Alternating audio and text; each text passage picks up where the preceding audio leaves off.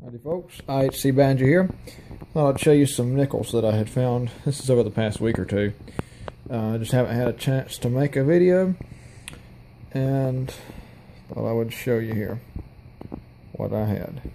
So doing here I had five no date buffaloes.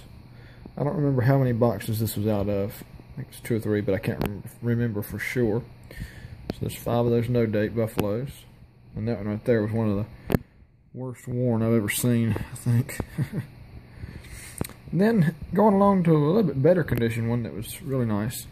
A 1938, which you don't find many of those 38s in circulation. It's hard to find them.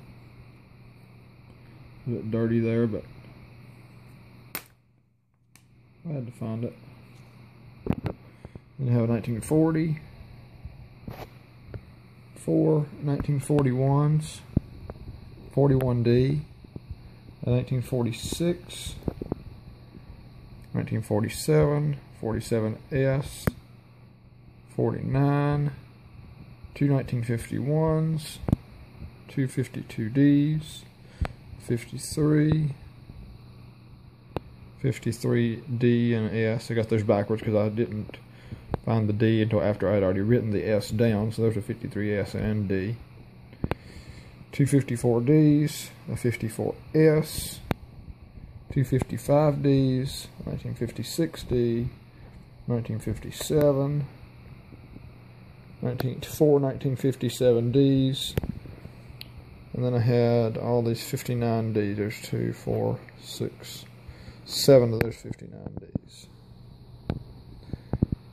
I had a 1999 Canadian.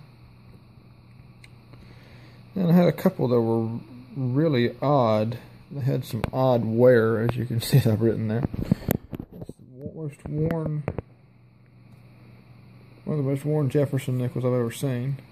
how old it is, I can't even see a date on it. And there you can see how worn the back is. It's just about beat to a pulp. And this one here had some had a bad cave in there, especially on the top. I don't know what happened to this one. But it's just roached. So there you have it. There are the nickel finds I've had for the past week or two that I haven't had a chance to film. Uh, glad, always glad to find those buffaloes, even if they are no dates. And the 38 was a good uh, find there.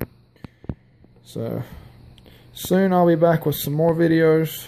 I have a lot of pennies to film.